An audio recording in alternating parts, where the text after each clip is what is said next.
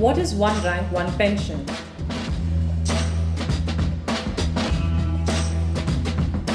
One rank, one pension is the demand by veterans of the armed forces for a uniform pension to personnel retiring in the same rank with the same length of service, irrespective of their retirement date.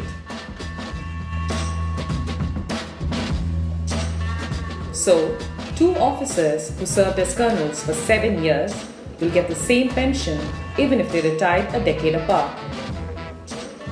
Veterans are angry because of the long delay in the implementation of the One Rank One Pension scheme. So, what's the status on it? Currently, all pre-2006 pensioners receive smaller pensions than not only their counterparts but even their juniors. So what's one rank, one pension going to cost us? The Defence Ministry presently spends 93,216 crore on salaries every year for military personnel. Rupees 54,500 crore is the pension bill for this year alone. And to implement OROP, we're going to need around 18 to 20,000 crore per year. So after implementing the OROP, the annual expenditure on military pensions will be around 75,000 crore. So basically, we'll be spending almost the same on our veterans as we do on our actual standing army. On 8th February 2009, more than 300 retired soldiers of varying ranks had marched to the Rashtrapati Bhavan in New Delhi and returned medals won in combat. However, it took further five years for the government to recognize the veterans' demands. In February 2014, the government accepted the demand of the ex-servicemen for the OROP and allocated rupees 500 crore to the defense pension account. In the July 2014 budget, Finance Minister Arun Jaitley also announced an allocation of rupees 1000 crore towards OROP. In December 2014, Defence Minister Manohar Parrikar said that the OROP will be implemented in the defence forces before the next budget. On 17 February 2015, Parrikar approved the proposal for implementation of OROP, which is estimated to cost rupees 8,300 crore. But on 17 March 2015, the proposal was forwarded by the Ministry of Defence to the Ministry of Finance, where it has not moved since. So is the OROP a bad idea?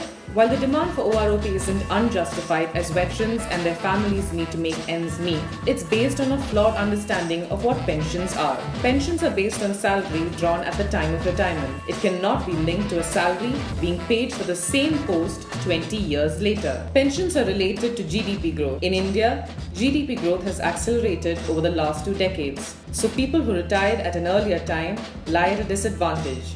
While that's unfortunate, it's the inevitable reality of developing economies across the world.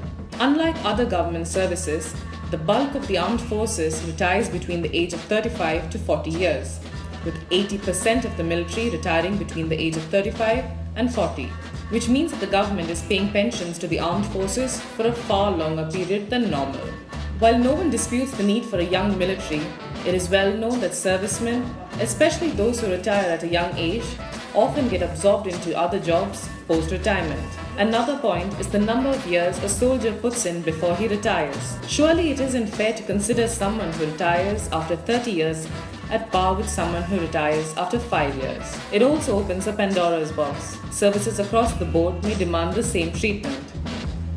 For instance, if soldiers are given the benefit of OROP because they safeguard the nation's borders, why should the border security force be deprived of it? This also holds true for the CRPF and the police forces and the Railways Employee Union, who, by the way, have already made a similar demand. Should the armed forces be an exception? Picture this. If the government is not able to bear the cost of providing OROP to 22 lakh ex-servicemen and 6 lakh widows, how will it be able to deal with crores of central and state government employees?